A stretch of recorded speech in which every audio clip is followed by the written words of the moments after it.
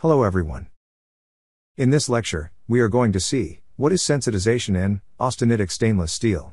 We have all these courses available on our Thinkific platform. To learn more about these courses, register with the link given in the description. Now let us talk about what is sensitization. Okay, we talk about like uh, sensitization or you call it IGC, intergranular corrosion. So at around 450 degrees Celsius, you know, the carbon molecules which are present in the steel, uh, 0.08%, if we talk about 304, then they diffuse towards the grain boundaries. Okay. After that, what happens? They will form chromium carbide. Okay, they will react with chromium, which is also there in the steel. They will react with that, make a compound called CR4C, chromium carbide. So one carbon atom will consume four atoms of chromium. Okay. And we all know that chromium is the reason for the stainless steel to become stainless, right? So if my chromium is getting consumed, my steel is getting depleted with the chromium element. So, and this chromium carbide, no further adding to the problem, this chromium carbide is a very weak compound. No, it's like a very uh, dust kind of thing. Okay. So it does not have any strength. So if it is participating at the uh, precipitating at the boundaries, you know, if you see in this figure, if you, if it precipitates like this, finally cracking will happen from that point, right? It will crack from these points, these lines. Okay. And that is the reason of intergranular corrosion and cracking.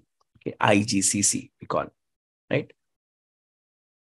So that is the problem which normally happens at 450 degrees Celsius to 500, roughly in this temperature zone right now if it is happening how we can avoid that.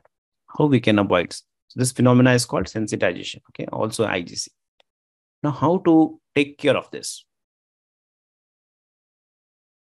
How we can take care of this phenomena?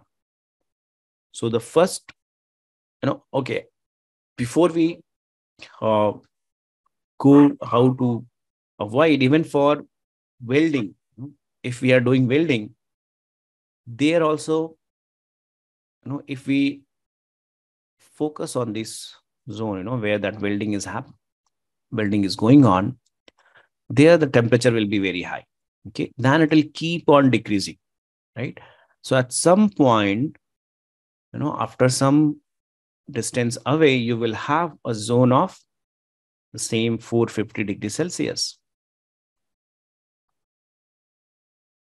right? You are going to, yes, heat in, in the heat affected zone, there will be a zone with this temperature range. So there it is going to happen, even though your applications are not up to that temperature. But while welding also, you will see the problem of IGCC. Okay. So what to do? How to take care of this? You know, So this is the weld, this is the passive layer, this is HAZ. No? So at this zone, which we have indicated, if the temperature is roughly at 450 degrees Celsius, there also you'll see that problem of sensitization. I hope you understood this part. Stay tuned for more videos related to materials requirements.